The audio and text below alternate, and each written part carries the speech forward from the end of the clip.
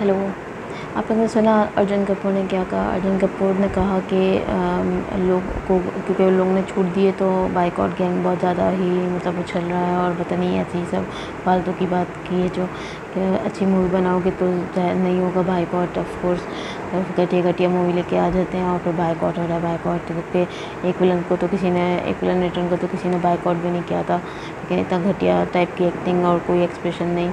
तो आ, क्या करेंगे? अपने इतनी मेहनत के पैसे कोई थोड़ी ना वेस्ट करेगा। आ, तो इतनी उल्टी उल्टी बातें एक तो घटिया मूवीज़ बनाते हैं ऊपर से उल्टी उल्टी बातें पब्लिक को लेके कर रहे हैं। तो आ, आप गाइस देख ही रहे हैं कि किस तरह से मतलब लोग अब बाइकआउट करने पे भर भड़क रहे हैं जबकि खुद अच्छा कंटेंट नहीं ला रहे और इस तरह की बातें कर रहे हैं। तो आप लोग को क्या कहना है इस बारे में मुझे कमेंट सेक्शन में बताएँ। एंड अर्जुन कपूर, जो कि एक्टर ही नहीं है, उनकी तो एक्टिंग ही नहीं आती है। एक दो मूवीज़ दो मूवीज़ में अर्जुन कपूर ने अच्छी एक्टिंग की है। अब तक जो पहली मूवी थी और जो ऋषि कपूर के साथ उनकी थी औरंगज़ेब, उसमें अच्छी एक्टिंग थी। बाकी तो मुझे अर्जुन कपूर की कोई भी एक्टिंग अब तक अच्छी नहीं लगी है।